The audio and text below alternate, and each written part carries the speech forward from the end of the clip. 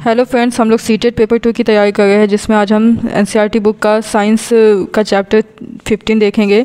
ये science NCERT book में आपका 15 चैप्टर जो है, वो लाइट है। हम लोग देखते हैं फ़र्स्ट पॉइंट यहाँ पे। मैंने ये पूरे चैप्टर को पढ़ के इसमें जो जो मेन पॉइंट्स थे, उसका मैंने समरी बना लिया है, जो आपके एग्ज़ाम पॉइंट ऑफ़ व्यू से इंपॉर्टेंट है। चलिए डिस्कस करते हैं। Plane mirror in plane mirror the image is found behind the mirror हमारा जो प्लेन मिरर होता है, उसमें जो इमेज बनता है, वो मिरर के बिहाइंड पीछे बनता है।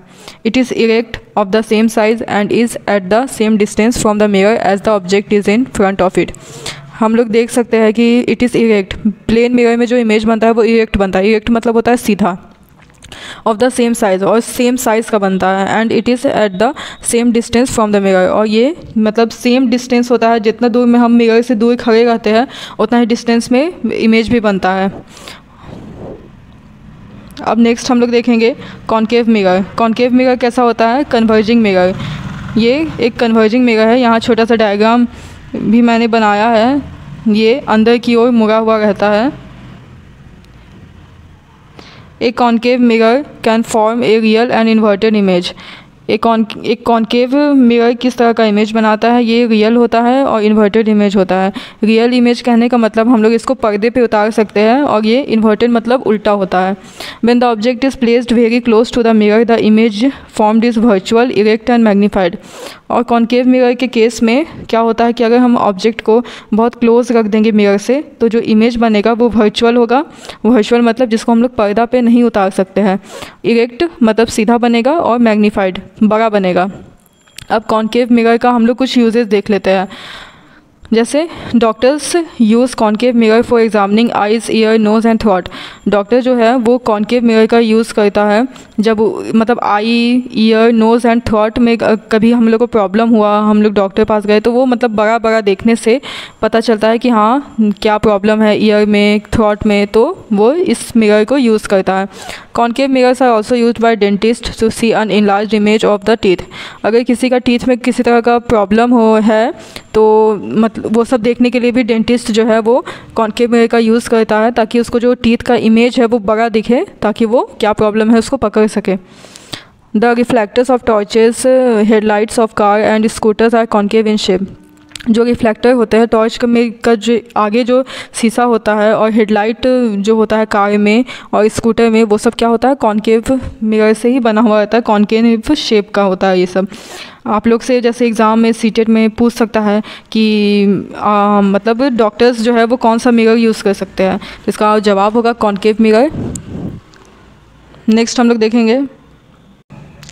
अब हम लोग देखेंगे Conway convex mirror image form by convex mirror is erect virtual and smaller in size than the object image convex mirror से किस तरह का इमेज बनता है? ये इरेक्ट बनता है, सीधा बनेगा, आपका वर्चुअल बनेगा मतलब इसको आप पर्दा पे नहीं उतार सकते हैं, और छोटा बनेगा मतलब ऑब्जेक्ट का जो साइज़ होगा, उससे छोटा इमेज बनेगा। इसका कहाँ कहाँ यूज़ होता है, हम लोग देख लेते हैं कि convex mirrors are use as side mirrors in vehicles आपके जो गाड़ी होता है, जैसे बाइक हो गया फोर व्हीलर हो गया तो उसमें जो साइड में जो मिरर लगा हुआ रहता है तो वो ये कॉन्वेक्स मिरर होता है, ताकि पीछे का चीज़ लोग देख सकें। पीछे क्या ट्रैफ़िक है, नहीं है, कौन आ रहा है, ये सब देखने में काम आता है। तो आपको ये क्वेश्चन पूछ सकता है कि व्हीकल्स के साइड मिरर का काम कौन करता है? ऑप्शन दे देगा कॉन्वेक्स मिरर कॉन्केव मिरर या फिर प्लेन मिरर इस तरह से आपको क्वेश्चन में देखने को मिल सकता है। अब हम लोग लेंस की बात करेंगे।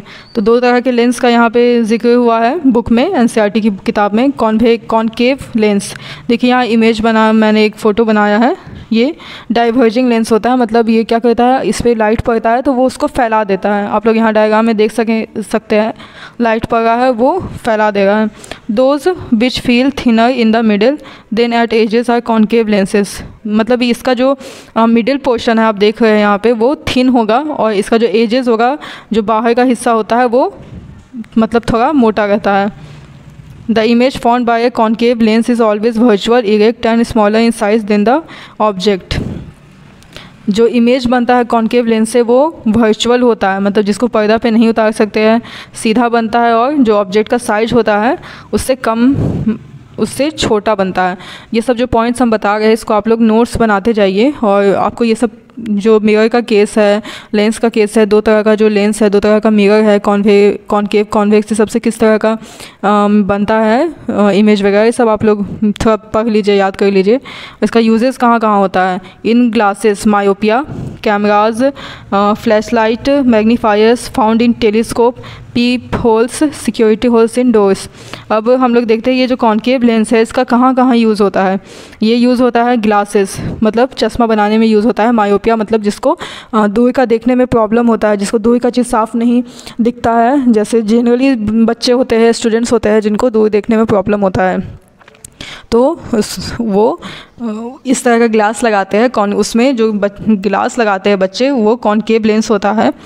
ताकि वो दूर का देख सके। फिर जो कैमराज होता है फ्लैश लाइट होता है मैग्नीफायर होता है और टेलीस्कोप वगैरह में और peep holes peep holes security holes in doors बहुत घरों में जो होता है सिक्योरिटी होल्स भी होता है बाहर देखने के लिए कि हाँ डोर पे कौन खड़ा है, वहाँ पे ये कॉनकेव लेंस का यूज़ होता है। ये चीज़ों को मैग्नीफाई करके दिखाता है। और ये कॉन्वेक्स लेंस का अब हम लोग देखेंगे ये क्या है? Cone converging lens cone convex lens जो होता है, वो क्या कहता है? जो भी लाइट आता है, उसको ये एक जगह पे मिला देता है। आप लोग यहाँ फिगर में देख सकते हैं। Those lens which feel thicker in the middle वैसा लेंस जो कि मिडिल में थिक हो than at the edges are convex lens मतलब इसका किनारे पतला होगा और बीच में जो है वो मोटा होगा। इस तरह के लेंस को कॉन्वेक्स लेंस बोलेंगे और ये कन्वर्जिंग नेचर का होता है। ये लाइट को है, वो एक पॉइंट में जाके मिला देता है। अब हम लोग देखेंगे लास्ट टॉपिक पे आ गए हैं इस चैप्टर का। A convex lens can form real and inverted image जो कॉन्वेक्स लेंस होता है, वो किस तरह का इमेज बनाता है? वो रियल और इन्वर्टेड उल्टा इमेज बनाता है।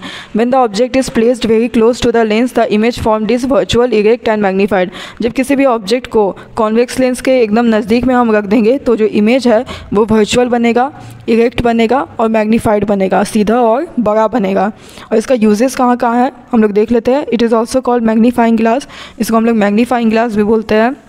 इससे हम चीज़ों को बड़ा करके देख सकते हैं।